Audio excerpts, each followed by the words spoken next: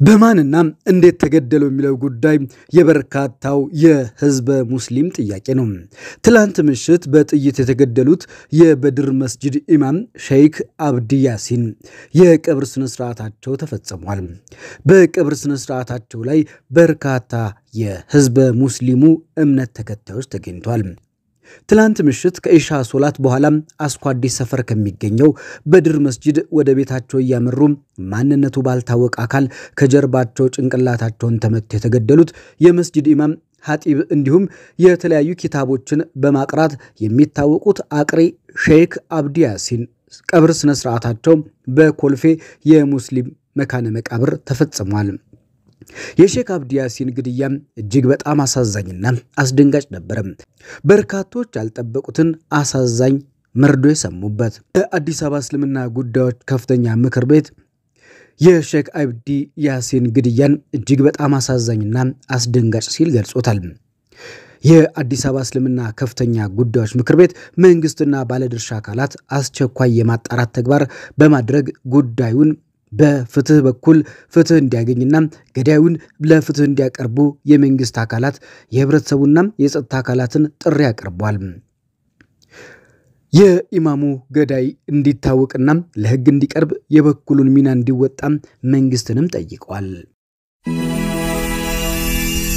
ብፁዕ ካርዲናል አቡነ ብርሃነ ኢየሱስ ሱራፌል የኢትዮጵያ ካቶሊካዊት ቤተ ክርስቲያን ሊቀ ጳጳስ የክርስቶስን መወለድ በአግባቡ ለማክበር ለሰው ልጅ ሕይወት ለእግዚአብሔር ቤተ ክርስቲያንና ለእርሱ ቅዱስ ስፍራ ክብር እንስጥ፣ ከራስ ወዳድነት መንፈስ እንውጣ፣ በመላው ሀገራችን ሞት ይብቃም፣ ሰላም ይስፋፋም።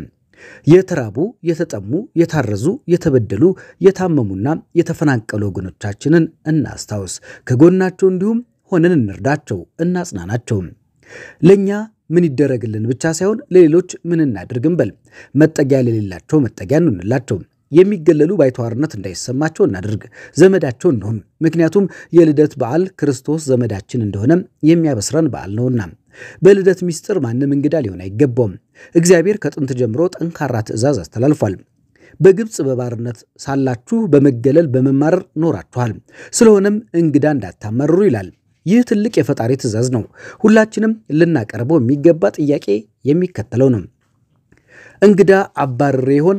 እንግዳ ከሚያዋርድ ሐሳብ፣ ትምህርት፣ መልእክት ጋር ተባብሬ ይሆን?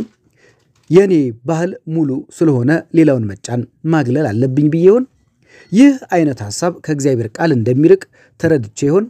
ከዚህ ሐሳብ ለመውጣትስ ምን ማድረግ አለብኝ? ይገባኛል እንበል።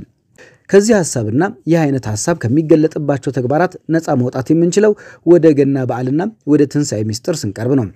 በዚያን ጊዜ ሰማይና ምድር ከኛ ጋር አብረው ለታላቁ ጌታ ታላቅ ምስጋና መዘመራቸው ታላቅ ምስጋናና መዝሙር ይዘምራሉ።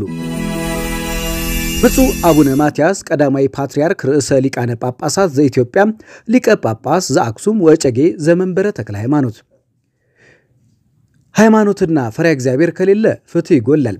ፍትህ ከሌለ ብሶት ይፈጠራል። ብሶት ካለ ሰላም ሊኖር አይችልም። በሁሉም የዓለማችን ክፍል ሃይማኖትና ፈሪያ እግዚአብሔር እየተዘነጋ በመሄዱ ቀውሱ ተባብሶ ይታያል። የሰው ልጅ ኑሮ በየትም ይሁን ቤት በስጋት የተሞላ ሆኗል። የሚወራው ሁሉ ስለ ግጭት፣ ስለ አየር ብክለት፣ ስለ ረሃብና እልቂት ሆኗል። ዓለም የጉልበተኞችና የባለ ሀብቶች ብቻ እንድትሆን የተፈጠረች እስክትመስል ድረስ ከባድ የፍትህ መዛባት አጋጥሞታል። የዝቅተኛው ማህበረሰብ ሰብአዊ መብት ተዘንግቷል። ከዚህ አኳያ ዓለም በዚህ እስከቀጠለች ድረስ ሰላም የማግኘት እድሏም በጣም አጠራጣሪ ነው። የክርስቶስ ልደት ያስተማረን ግን እንደዚህ አልነበረም።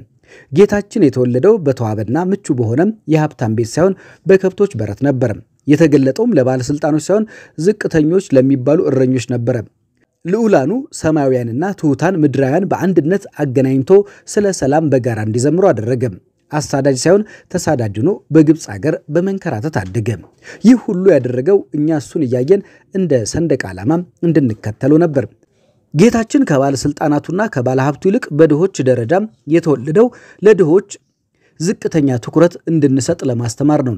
የእኛ ድርጊት ግን ግልባጭ ሆኖ እየተስተዋለ ነው። እጅግ የሚያሳዝነው ደግሞ ክርስቲያን ነኝ ብሎ በስመ እግዚአብሔር ተሰይሞ መስቀልን በአንገቱ ላይ ተሸክሞ የእሱ መሰል በሆነው ወይም መስቀል በተሸከመው ወንድሙ እናም እህቱ እንዲሁም በመሰል ፍጡር ላይ ያለ ርኅራኄ ሲጨክን መታየቱ ነው። እንዲህ እየሆነ እንዴት ሰላም ይመጣል? እግዚአብሔር እንዴት በረከቱን ይሰጠናል? ይህ እጅግ በጣም ሊታሰብበት የሚገባ ጉዳይ ነው። የተወደዳችሁ የመንፈስ ቅዱስ ልጆቻችን ምዕመናና ምዕመናት፣ እኛ ኢትዮጵያን ከእንዲህ አይነቱ የሃይማኖት የሞራል ዝቅጠት በአስቸኳይ መውጣት አለብን።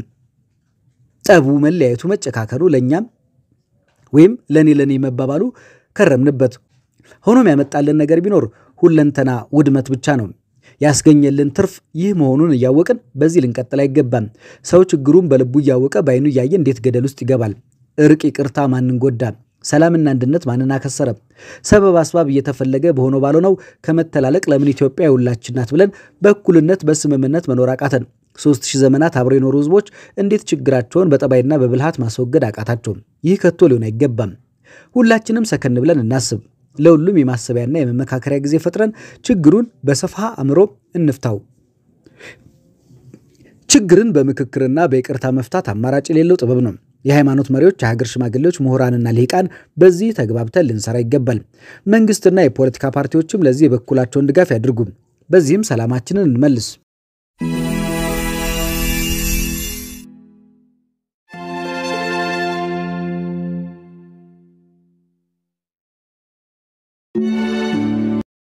የኢየሱስ ክርስቶስ የልደት በዓል በላሊበላ መከበር ላይ ነው።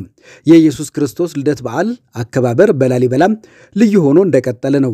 የአማኑኤል በዓል በብፁዓን አባቶች በሊቃውንትና በርካታ ምዕመናን ተከብሯል። በዘመነ ዮሐንስ ታኅሳስ 28 ጾሙ ይፈታል። የቅዱስ ላሊበላና የኢየሱስ ክርስቶስ ልደት በዓል የቤዛ ኩሉ ስነ ስርዓት ዘበትር በታኅሳስ 29 በድምቀት ተከብሮ ይውላል።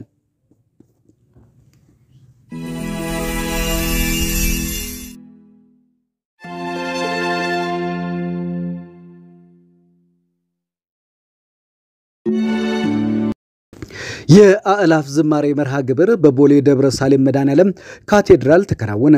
በመርሃ ግብሩ ላይ ብፁዕ ወቅዱስ አቡነ ማትያስ ፓትርያርክ ርዕሳነ ሊቃነ ጳጳሳት ዘኢትዮጵያ ሊቀ ጳጳስ ዘአክሱም ወዕጨጌ ዘመንበረ ተክለ ሃይማኖት፣ ብፁዕ አቡነ አብርሃም የመንበረ ፓትርያርክ ጠቅላይ ስራ አስኪያጅ፣ የባህር ዳር የሰሜን ጎጃም አህጉረ ስብከት ሊቀ ጳጳስ፣ ብፁዕ አቡነ ሄኖክ የአዲስ አበባ ሀገረ ስብከት ሊቀ ጳጳስና ሌሎች ብፁዓን አባቶች፣ መንበረ ፓትርያርክና የአዲስ አበባ ሀገረ ስብከት የአገልግሎት ኃላፊዎች፣ ሊቃውንተ ቤተ ክርስቲያን፣ የጃንደረባው ትውልድ ማህበረተኞች፣ አእላፍ ዝማሬም የምስጋና መርሃ ግብር የተሳተፉ በብዙ ሺህ የሚቆጠሩ ምዕመናን ተገናኝቷል። የጃንደረባው ትውልድ ማህበር በቅርቡ በመንበረ ፓትርያርክ ጠቅላይ ቤተ ክህነት ጽሕፈት ቤት የማህበራት ምዝገባ ክትትል ቁጥጥር መምሪያ የእውቅና ምስክር ወረቀት ከተሰጣቸው ማህበራት አንዱ መሆኑ ይታወቃል።